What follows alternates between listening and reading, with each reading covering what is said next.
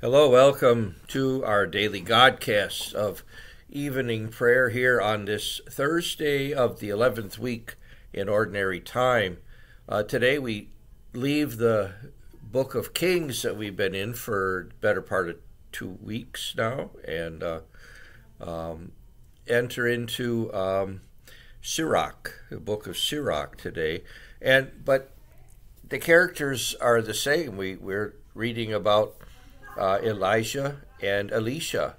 And uh, again, in this book, uh, reinforcing what we saw in Kings, that Elijah was indeed uh, carried to heaven in a fiery chariot led by fiery horses, and that Elisha was gifted with the uh, uh, double dose of the Holy Spirit in his ministry. And then we, we also read that both of them, Elisha and Elijah, were responsible through God's intervention, of course, God's uh, you know cooperating with the gifts they were given, uh, raised the dead and, and did all sorts of wondrous, miraculous things in their ministry in their lifetime. God can do so much when, like Jesus always says, your faith your faith has saved you. Your, you know, our faith, our our trust in Him, our belief in Him that He can do wondrous deeds.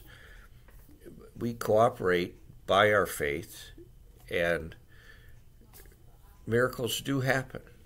It's just a terrific reality that our God, the God, is powerful, all powerful, all loving, all knowing, and with Him all things are possible. So when we align ourselves with Him, when we cooperate with Him, we're uh, we're in a good place.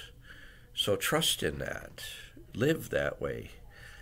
And today in our gospel, Again, still Matthew, still chapter 6. This is the continuation of the Sermon on the Mount. And now Jesus is talking to us about how to pray. Not to babble on and on and on using a million words and big, fancy, flowery words, trying to impress him. Uh, he's talking about some people who kind of like to, you know, they they like to hear themselves pray. You know, their prayers, I think, are more directed to themselves, for themselves, than to God and for God. But Jesus teaches us that perfect prayer today. In Matthew's Gospel, we hear the Lord's Prayer, the prayer that Jesus himself taught us, the prayer that we pray here at evening prayer every day, the prayer we pray at Holy Mass every day, the Lord's Prayer. And, you know, like we did when we were doing our 33 day uh, consecration, when we prayed the Lord's Prayer, think about it. Let it sink in. What is it that you're praying? And just think about the beauty of that perfect prayer. The words of Jesus himself you know, and, and this love, loving God of ours that wants us to call him Daddy, Abba, our Father. So we're so blessed. We're so fortunate that we exist, that we are created in God's image and likeness, that we can turn to Him as our Father. And say thank you and say help us. So let's do both of those things right now, shall we? Let's enter into our evening prayer in a spirit of thanksgiving and also in a spirit of help me, help me, because we all, we all need help. Without God's help, we'd be so lost, so despondent so let's be grateful that we do have Him in our lives. And let us turn to Him now as our Father in heaven and earnestly pray our evening prayer, shall we? So we enter in in the name of the Father and of the Son and of the Holy Spirit. Amen. God, come to my assistance, Lord. Make haste to help me. Glory to the Father and to the Son and to the Holy Spirit, as it was in the beginning, is now, and will be forever. Amen. Let your holy people rejoice, O Lord, as they enter your dwelling place. O Lord, remember David and all the many hardships he endured, the oath he swore to the Lord, his vow to the strong one of Jacob.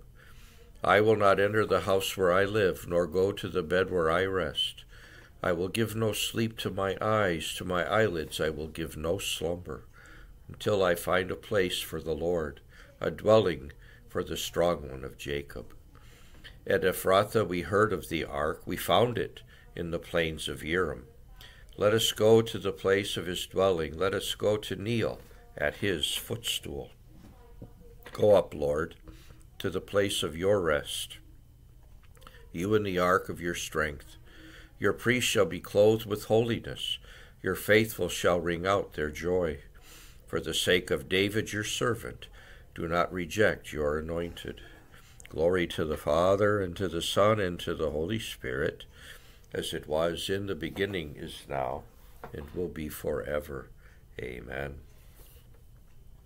Let your holy people rejoice, O Lord, as they enter your dwelling place. The Lord has chosen Zion as his sanctuary. The Lord swore an oath to David, he will not go back on his word. A son, the fruit of your body, will I set upon your throne. If they keep my covenant in truth and my laws that I have taught them, their sons also shall rule on your throne from age to age. From the Lord, for the Lord has chosen Zion as his desired, he has desired it for his dwelling. This is my resting place forever. There have I chosen to live. I will greatly bless her produce. I will find I will fill her poor with bread. I will clothe her priests with salvation. On her faithful and her faithful shall ring out their joy. There David's stock will flower.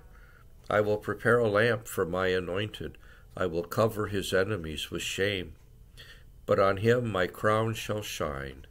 Glory to the Father, and to the Son, and to the Holy Spirit as it was in the beginning, is now, and will be forever. Amen. Lord Jesus Christ, you chose to suffer and be overwhelmed by death in order to open the gates of death in triumph. Stay with us to help us on our pilgrimage. Free us from all evil by the power of your resurrection in the company of your saints and constantly remembering your love for us, may we sing of your wonders in our Father's house. The Lord has chosen Zion as his sanctuary. The Father has given Christ all power, honor, and kingship. All people will obey him. We praise you, the Lord God Almighty, who is and who was. You have assumed your great power. You have begun your reign. The nations have raged in anger, but then came your day of wrath, the moment to judge the dead, the time to reward your servants, the prophets, and the holy ones who revere you, the great and the small alike. Now have salvation and power come, the reign of our God and the authority of his anointed one. For the accuser of our brothers is cast out, who night and day accused them before God. They defeated him by the blood of the Lamb and by the word of their testimony.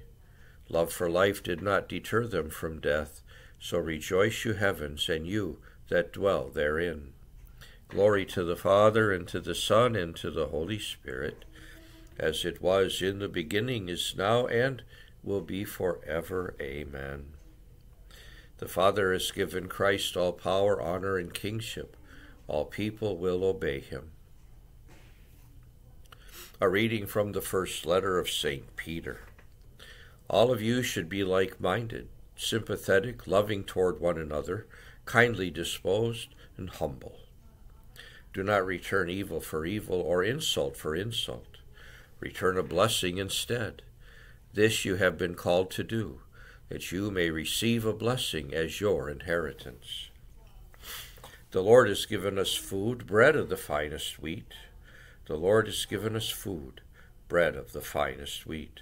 Honey from the rock to our heart's content, bread of the finest wheat. Glory to the Father, and to the Son, and to the Holy Spirit. The Lord has given us food, bread of the finest wheat. God has cast down the mighty from their thrones, and has lifted up the lowly. My soul proclaims the greatness of the Lord. My spirit rejoices in God my Saviour, for he has looked with favor on his lowly servant. From this day all generations will call me blessed. The Almighty has done great things for me, and holy is his name. He has mercy on those who fear him in every generation. He has shown the strength of his arm, he has scattered the proud in their conceit. He has cast down the mighty from their thrones and has lifted up the lowly. He has filled the hungry with good things, and the rich he has sent away empty. He has come to the help of his servant Israel, for he has remembered his promise of mercy, the promise he made to our fathers, to Abraham and his children forever. Glory to the Father, and to the Son, and to the Holy Spirit, as it was in the beginning, is now, and will be forever. Amen. God has cast down the mighty from their thrones and has lifted up the lowly. Let us call upon Christ, the Good Shepherd, who comes to the aid of his people. Hear us, O God, our refuge. Blessed are you, Lord, you, for, you, for you graciously called us into your holy church. Keep us within the church until death. Hear us, O God, our refuge. You have given the care of all the churches to Francis, our Pope. Give him an unfailing faith, lively hope, and loving concern. Hear us, O God, our refuge. Grant the grace of conversion to all sinners, and the grace of true repentance to all men. Hear us, O God, our refuge. You were willing to live as a stranger in our world. Be mindful of those who are separated from family and homeland. Hear us, O God, our refuge. To all the departed who have hoped in you, grant eternal peace. Hear us, O God, our refuge. Let us conclude our prayer with the Lord's Prayer. Our Father, who art in heaven, hallowed be thy name. Thy kingdom come Thy will be done on earth as it is in heaven. Give us this day our daily bread, and forgive us our trespasses, as we forgive those who trespass against us. Lead us not into temptation, but deliver us from evil. Amen.